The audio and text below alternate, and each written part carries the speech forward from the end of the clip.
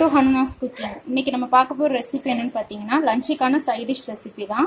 Capsicum பொரியல். அதாவது குடமிளகாயை வச்சு ஒரு பொரியல் ரெசிபி தான். யூஸ்வலாக பீன்ஸ் கேரட் பொரியலை தான் நம்ம எப்பவுமே சாப்பிட்ருப்போம் இது வந்து டிஃப்ரெண்ட்டாக இந்த கொடமிளகாயை வச்சு எப்படி பண்ணலான்னு பார்க்கலாம். இதுக்கு தேவையான பொருட்கள் பார்த்தீங்கன்னா நான் வந்து ஒரு சின்ன வெங்காயத்தை வந்து இந்த மாதிரி குட்டி குட்டியாக கட் பண்ணி எடுத்திருக்கேன். அதுக்கப்புறம் பார்த்தீங்கன்னா இது வந்து கேப்சிகம் குடமிளகா கொடமிளகாய் இந்த மாதிரி சின்ன சின்னதாக வாஷ் பண்ணிட்டு நல்லா சின்ன சின்னதாக கட் பண்ணி எடுத்திருக்கேன். இது பார்த்தீங்கன்னா வேர்க்கடலை. அதாவது ஒரு ரெண்டு டேபிள் ஸ்பூன் அளவு வேர்க்கடலை வந்து ட்ரை ரோஸ்ட் அதாவது எண்ணெயெல்லாம் ஊற்றாமல் கடாயில் வந்து நல்லா ட்ரை ரோஸ்ட் பண்ணிவிட்டு அதோட தோலெல்லாம் வந்து எடுத்துட்டு அதுக்கப்புறமா இந்த மாதிரி திரிச்சு எடுத்திருக்கேன். ரொம்ப பவுடராக திரிக்காமல் கொஞ்சம் குறை குறைப்பா திரிச்சுக்கோங்க. அதுக்கப்புறம் பார்த்தீங்கன்னா இது வந்து அரை டீஸ்பூன் வந்து மிளகாய் தூள் கால் டீஸ்பூன் மஞ்சள் தூள். இப்போ இதை தாளிச்சிடலாம். இப்போ கடாயில் என்ன சூடானதும் நான் வந்து கடுகு சேர்த்துருக்கேன். கடுகு பொரிஞ்சதும் வெங்காயம் சேர்த்துக்கலாம்.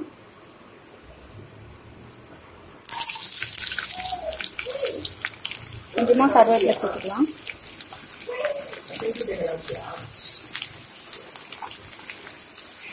வெங்காயம் வதங்கிட்டு இருக்கு. இப்போ வந்து நம்ம குடமிளகாயும் சேர்த்துடலாம்.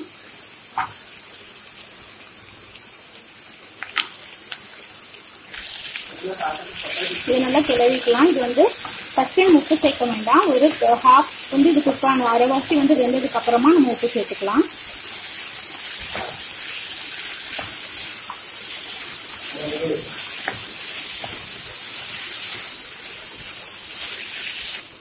பார்த்தீங்கன்னா ஓரளவு நல்லா வதங்கி இருக்கு இந்த டைம்ல வந்து உப்பு சேர்த்துக்கலாம்.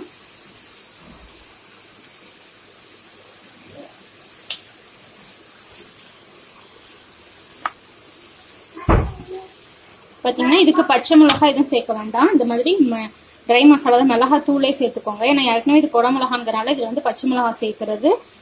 நம்மளுக்கு வந்து சாப்பிடும் போது டிஃப்ரென்ஸ் தெரியாது. குழந்தைங்களும் பெரியவங்களுக்கு கூடமே இந்த மிளகா வந்து வாயில கடிப்பட்டுட்டே இருக்கும். ஸோ இதுக்கு வந்து நம்ம இந்த இப்போ வந்து மசாலா பொடி சேர்த்துக்கலாம். அந்த மஞ்சளும் மிளகாய் தூள் ரெண்டு தான் சேர்த்துருக்கேன்.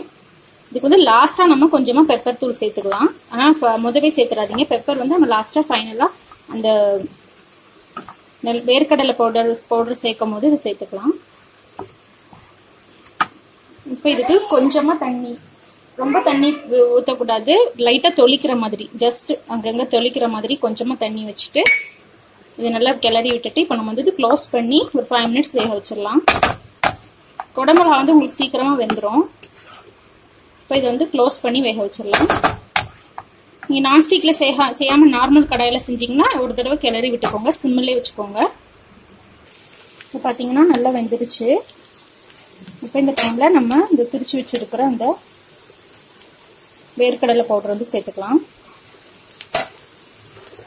அது கூடவே கொஞ்சமா ஒரு பிஞ்ச் அளவு அளவு வந்து மிளகா மிளகுத்தூள்.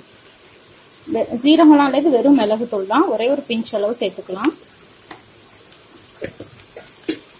சேர்த்துட்டு இது நல்லா ஒரு ஒரு நிமிஷம் நல்லா கிளறி விட்டுட்டு அதுக்கப்புறமா ஆஃப் பண்ணிடலாம். அவ்வளோதான் ஸ்டவ் ஆஃப் பண்ணிடலாம்.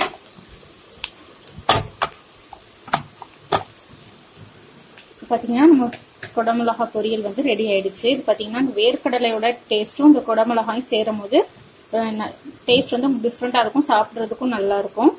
தேங்காய் அந்த மாதிரி சேர்க்கறத விட இந்த மாதிரி இந்த பொ- இந்த பொரியலுக்கு வேர்க்கடலை வந்து லாஸ்ட்டாக சேர்த்தீங்கன்னா ரொம்ப நல்லா இருக்கும். யூஸ்வலான பொரியலை விட அது டிஃப்ரெண்டாக இருக்கும். கண்டிப்பாக அதை ட்ரை பண்ணி பாருங்க. இந்த ரெசிபி உங்களுக்கு பிடிச்சிருந்துச்சுன்னா லைக் பண்ணுங்க ஷேர் பண்ணுங்க. அண்ட் மறக்காம இந்த சேனலுக்கு சப்ஸ்கிரைப் பண்ணுங்க. தேங்க்யூ